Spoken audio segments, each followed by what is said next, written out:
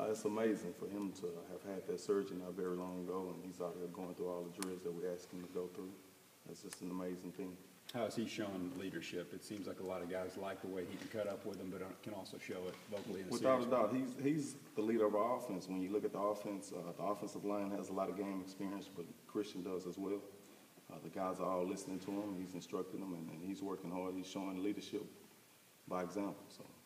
Coach said that first week it was hard holding him out and, and keep him out. Is that a good hunger that you like to have? Are you kind of ha- having to watch him a little bit? You know, it's, it's a, definitely a good hunger. He, uh, he wants to be out there, but we have to monitor him. Uh, it's not important that he's out there in the spring. We want him out there come September. So. What's been the hardest thing so far for the, the running back group to kind of get them into the new system? Well, I I don't know if it's so hard for them, but it's, it's hard for me. I, I have to remind myself that this is only the sixth practice. You know, I was with a group of guys of previous years, and, and I had four years with those guys.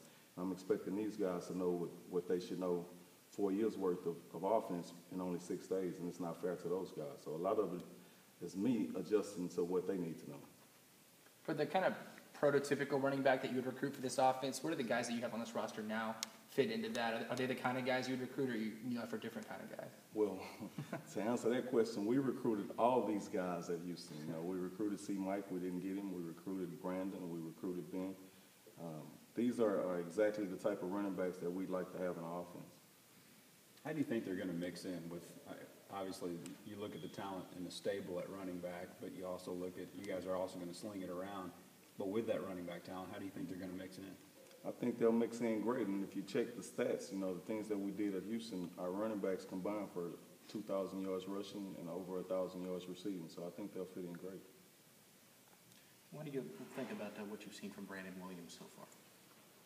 Brandon Williams has a special talent. You know, he's able to catch the ball out of the backfield. He's a great receiver out of the backfield. He can run the ball. Uh, he's going to be a really good back for us. Coach said that, uh, you know, he was